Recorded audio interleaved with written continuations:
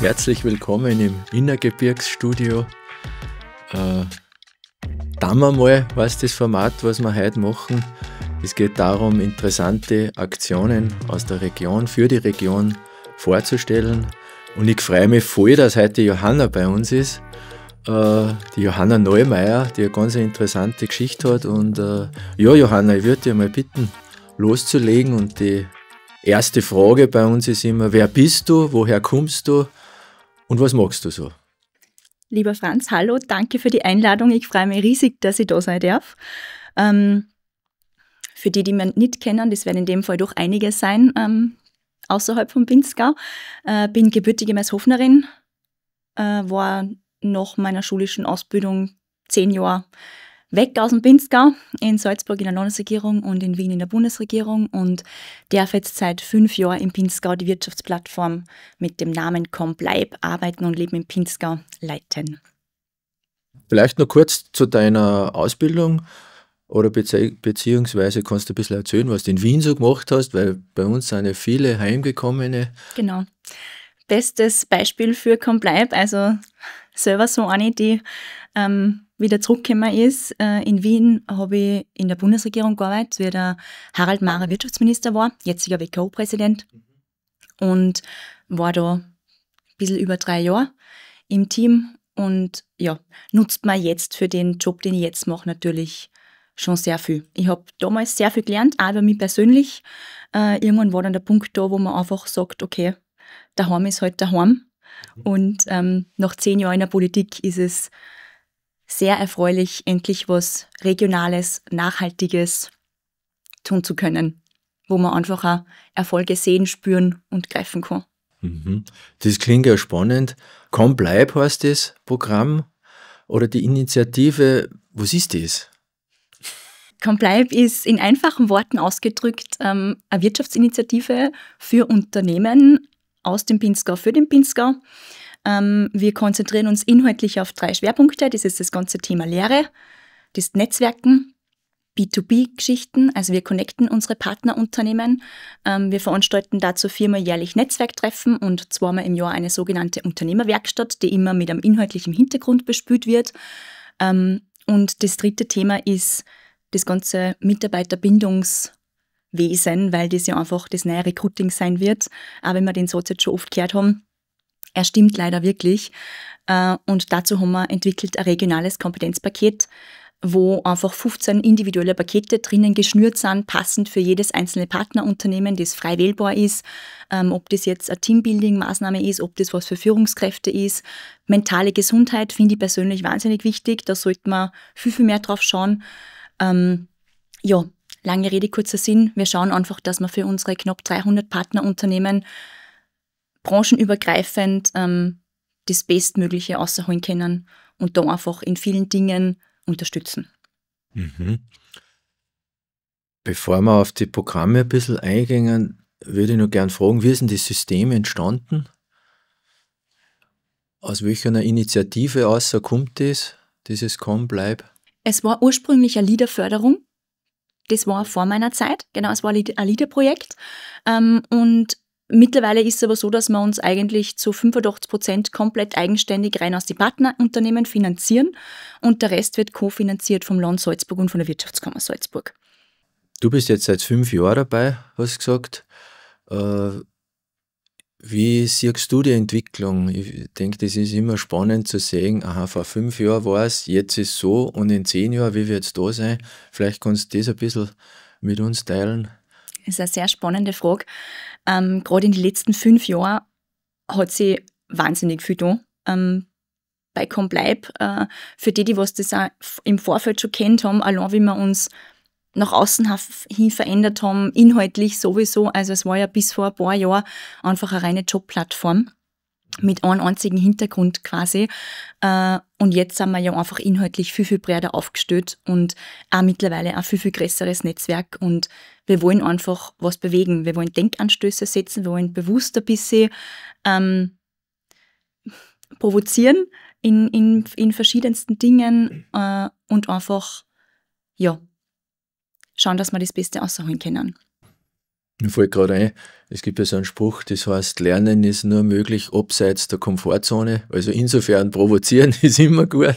Das stand mir auch äh, im Innergebirg. Äh, du hast erzählt vorher, dass ihr auch in den Bongau gehen wollt äh, und in den Dennengau im nächsten Schritt.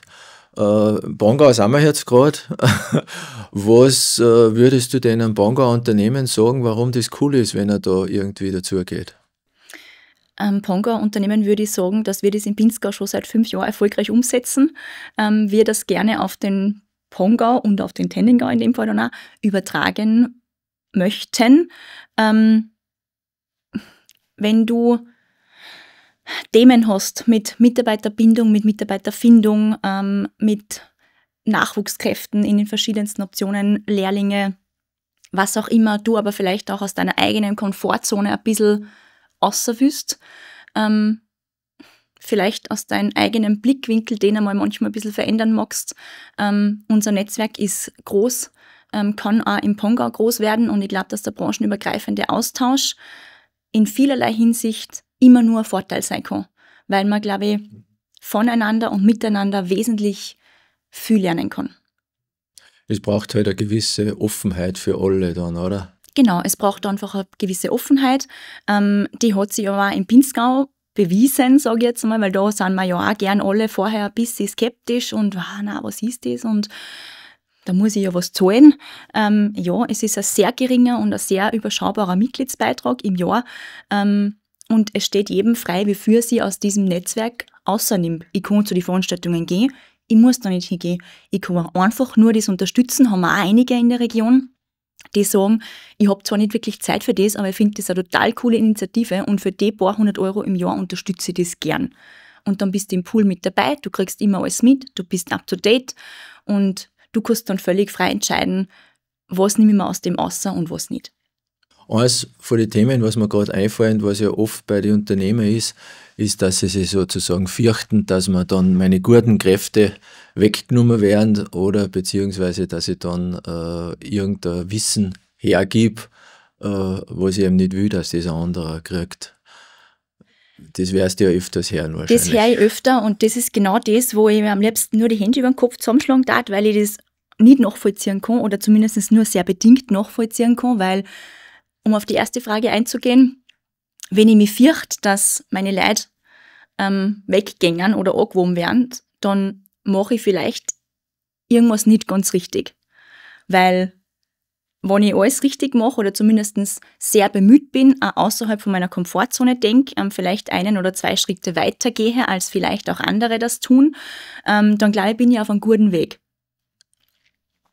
Das zweite, also das ist sehr passend, weil wir haben vor drei Wochen unser Unternehmerwerkstatt gehabt mit dem Thema Zukunft Lehre Pinzgau von und miteinander lernen. Und wir haben da in dem Fall ein Panel gehabt ähm, mit vier Führungskräfte aus unterschiedlichen Partnerunternehmen von uns, die sehr, sehr gerne bereit waren, einer Know-how und einer Wissen mit dem Complybe-Netzwerk zu teilen. Also das ist innerhalb vom Pinzgau, wenn ich das jetzt mal so sagen darf, so wie ich das jetzt wahrnehme, schon viel, viel besser waren. Weil man einfach sieht, okay, man kann gemeinsam wesentlich mehr bewegen, als wir einer allein.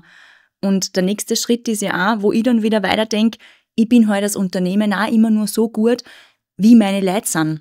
Mhm. Also, wenn ich nicht auf meine Leute schaue, werden die irgendwann niemand so performen können, wie ich das gern hätte, wie das für sie gut ist und wie es fürs Unternehmen gut war. Also es schließt sich der Kreis ja immer wieder und ich glaube, dass man von anderen schon sehr, sehr viel lernen kann. Und man muss ja das Radl nicht immer neu erfinden. Also es gibt ja viele Sachen, die vielleicht nicht eins zu eins in jedem Unternehmen so anwendbar sind, aber wenn ich da an ein paar Schrauben vielleicht ein bisschen drehe, dann kann ich das für mich oder für mein Unternehmen in meinen Rahmenbedingungen ja so gestalten, dass das auch für mich passt. Mhm. in meiner Erfahrung ist es ja sowieso eher so, dass man aktuell eher das Problem hat, dass man das Wissen gar nicht mehr kriegt oder das Wissen einfach verloren geht. Gerade im handwerklichen Bereich äh, hat man einfach das Problem, dass viele erfahrene ältere Mitarbeiter in Pension gehen oder sie einen sogenannten leichteren Job suchen. Äh, und da hat man viel, viel Wissen, was verloren geht. Und ich denke, es ist eher das Problem, überhaupt Fachkräfte äh, zu haben, gute, äh, als wir äh, irgendein Wissen zu, zu vermitteln, das ein anderer, also so Geheimnisse zu vermitteln, um das einmal so zu nennen. Das ist ein Punkt. Und das Zweite, was ich mir äh, denke, ist eben auch, dass diese, dieses untereinander Lernen, äh, gerade im Handwerksbereich, äh, wie jeden anderen Bereich, extrem wichtig ist, weil man könnte vielleicht dann also ein Zeitmanagementmodell oder was machen, weil es ist, äh, man hat ja oft das Thema, der muss viel Überstunden machen und, und bei der anderen Firma äh, wäre gerade einer frei, äh, der da mitarbeiten könnte. Also da könnte man mit, mit intelligenten Systemen äh, sehr, sehr viel an letztendlich Kosten sparen.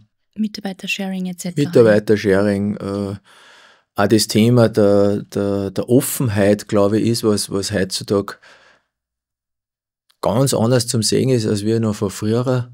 Äh, wenn man sich die, die ganzen Themen im Internet anschaut, ich habe jetzt gerade, das ist, finde ich, ein super Beispiel.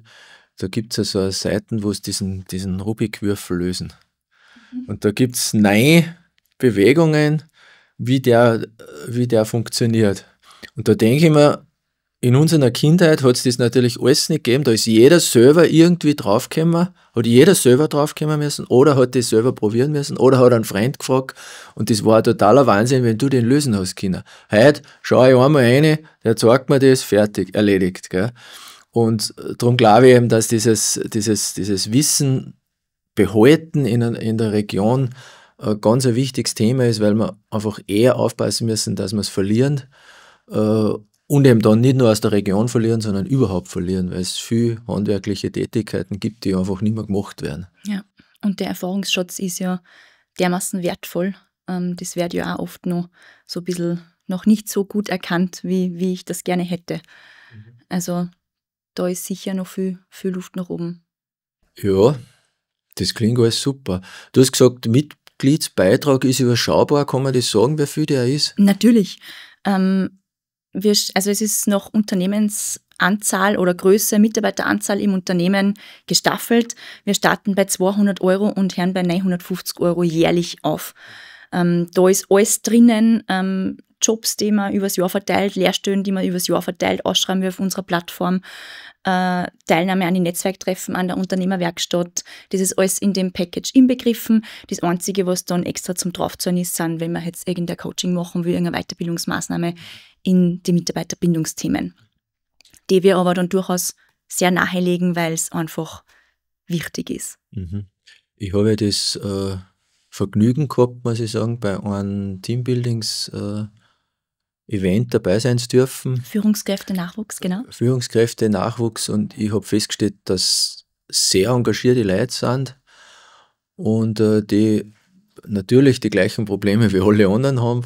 Und äh, in dem Team hat sich innerhalb von dem Tag extrem viel verändert ist mir aufgefallen, so auch in der, in der Beziehungsebene, weil sie einfach gemerkt haben, es geht jedem gleich. Und ich finde, das ist also eine, also eine wichtige Funktion von so einem System, wo man sich trifft, ist einfach diese Gemeinsamkeiten genau. äh, zu erleben. Ich bin nicht allein. Ja. ja. Und das ist, das ist mir aufgefallen und da äh, würde ich dich eben auch fragen, was da die Rückmeldungen sind oder, oder wie, wie verteilt sich das dann quasi auf die, auf die Firmen? Kommen immer neue dazu? Äh, die bei diesen Führungskräften dabei sind und was sagen die, die was schon mal waren äh, im Nachhinein dann? Also das Feedback von denen, die was teilgenommen haben, war ausgesprochen positiv. Äh, das ist jetzt der zweite Durchgang, den wir haben, weil wir machen es ja erst seit zwei Jahren. Ähm, wir starten es immer mit dem Jahresanfang. Äh, es sind in dem Fall beim Führungskräfteentwicklungsprogramm vier Module inklusive einer Abschlusspräsentation vor dem Projekt, das innerhalb von den vier Workshop-Tage ausgearbeitet wird. Ähm, also ich habe volle Begeisterung gespürt. Ähm, ich glaube, dass das in dem Fall auch die Beatrix Mitterweisacher wahnsinnig gut macht. Mit der Arbeit die wirklich gut und sehr gerne zusammen. Ähm, es haben sie alle wahnsinnig viel daraus mitgenommen und es ist genau das, was dann eigentlich, wo ich mir denke, passt. Haben wir was richtig gemacht, wir sind auf einem guten Weg und wir freuen uns natürlich, wenn wir das dann auch weiterhin so fortführen können. Und ich denke, was mir ja gut gefällt, nicht nur, weil ich selber ein Trainer bin, aber die Beatrix ist ja auch eine, die, die war auch schon bei uns jetzt da, aber die Beatrix ist auch eine, die weiß, was sie sagen will und das auch vertritt. Und äh, sie ist sehr, sie ist sehr engagiert und sie fordert da die Leute und fördert die Leute. Und, und das ist was, was, was, was ganz positiv ist. Und ich finde auch dieses, weil man oft über Role Models äh, redet, ich finde das auch super, so quasi jetzt nicht nur in der Region quasi die, die, die Teilnehmer zu haben, sondern auch Leute, die Erfahrung haben, auch aus der Region zu haben, weil da kann man einfach auch sagen, ja Leute, Schatz, wir haben alles da, was wir brauchen. Wir müssen nicht nach Amerika umschauen, wo es so super cool ist, sondern bei uns ist es auch super cool und entwickelt sich genau gut. Ja. Wo siehst du das System in zehn Jahren?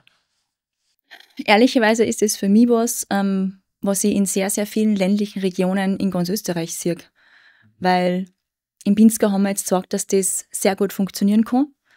Ähm, der Pinzgau ist nicht die einzige Region, die mit diesen Problemen kämpft. Ähm, das sind ganz viele andere Regionen und auch ganz viele andere Bundesländer. In Österreich ist es nicht nur Salzburg oder Innergebirg, sondern da braucht man nur da weiter über die Grenzen hinausschauen. Die strugglen mit dieselben Geschichten und deswegen, ja, im besten Fall sind wir in zehn Jahren österreichweit ausgerollt. Normal hören wir da über Weltherrschaft, gell? Aber ja, wir wollen jetzt einmal ein bisschen langsam anfangen. Das ist auch schon gut. Nicht alles auf einmal.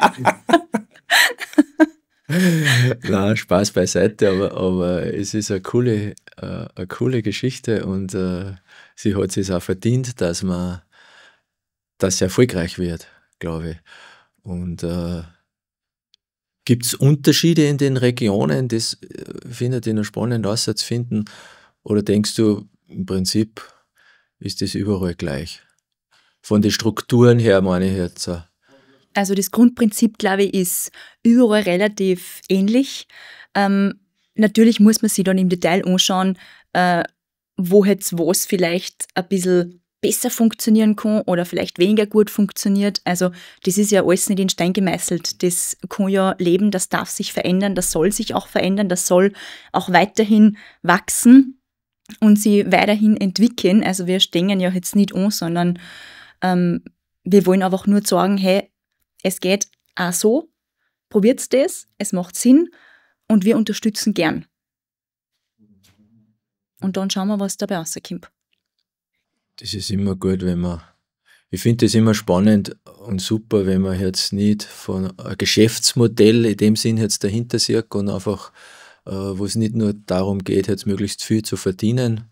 Und das kommt bei dir einfach ganz klar um, dass äh, um die Leute geht, dass das ein System ist für die Leute und äh, insofern finde ich das cool und super. Und ich habe jetzt mir gedacht, dass ich eigentlich alles gehört habe, was ich so wissen wollte von dir. Das freut mich. Gott, Gott sei Dank. Möchtest du noch was sagen? Was sagst du, das möchte ich noch loswerden? Für alle Pongauer und Tennengauer Unternehmerinnen und Unternehmer, die diesen Podcast hören, ähm, ab 25 ist es sehr, sehr, sehr wahrscheinlich soweit, dass wir auch in euren Regionen sein werden. Wenn es vorab schon Interesse gibt, Fragen gibt oder so, darf ich gleich ein bisschen Werbung machen, bitte. Gerne jederzeit melden. Wir freuen uns über jede und jeden von euch, ähm, die dort Teil unseres Netzwerks sein möchten und das im Pongau und im Tennengau genauso gut aufbauen möchten, wie wir das im Pinzgau gemacht haben. Cool. Jetzt ist mir zum Thema Gesundheit doch noch was eingefallen. Bitte, schieß los. äh, weil das Thema Gesundheit und, äh, und äh, Work-Life-Balance äh, und äh, oder Life-Work-Balance, wenn man heute oft spaßeshalber sagt, äh, in aller Munde ist. was gibt es da für Themen, die die beschäftigen?